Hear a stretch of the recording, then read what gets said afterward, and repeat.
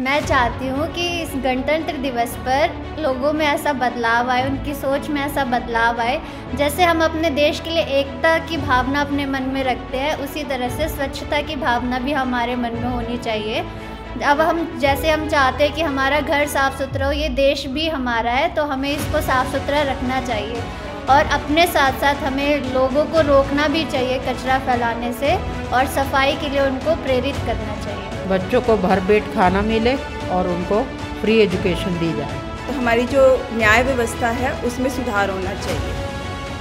दिवस पर मैं ये चाहती हूँ कि जो महँगाई बढ़ रही है वो कम हो जाए और जो गरीब गरीब इंसान है उनको दो टाइम का खाना मिले। गरीब लोग हैं गरीब नहीं बल्कि सभी लोगों को फ्री इलाज मिले क्योंकि बहुत से लोग ऐसे हैं पैसे की वजह से अपनी जान गंवा देते हैं।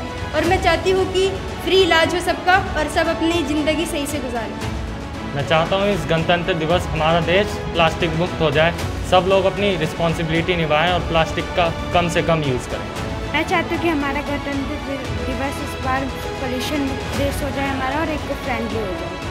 गणतंत्र दिवस पे चाहती हूँ कि हमारा देश कोरोना मुक्त हो जाए और हम जैसे स्कूल पहले जाते थे उस तरह स्कूल जा पाए और अपनी अच्छी पढ़ाई कर पाए। जैसे आजकल हमारे देश में देख रहे हैं हर तरफ़ दंगा फसाद न किसी में भाईचारे की भावना नहीं देखी जाती है।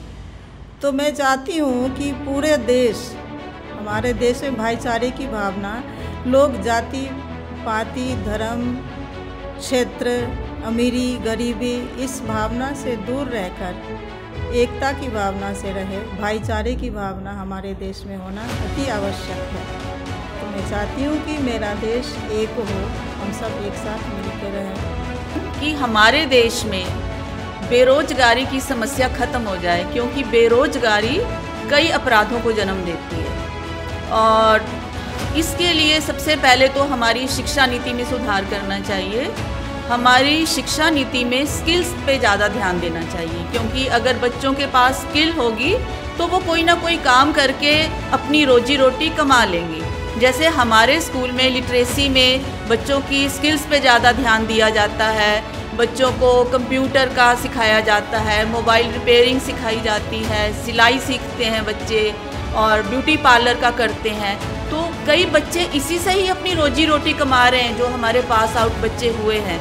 तो मैं ये चाहती हूँ कि ऐसा ही हर स्कूल में होना चाहिए, ताकि बच्चे अपनी एजुकेशन प्राप्त करने के बाद अपने पाँव पे खड़े हो जाएँ।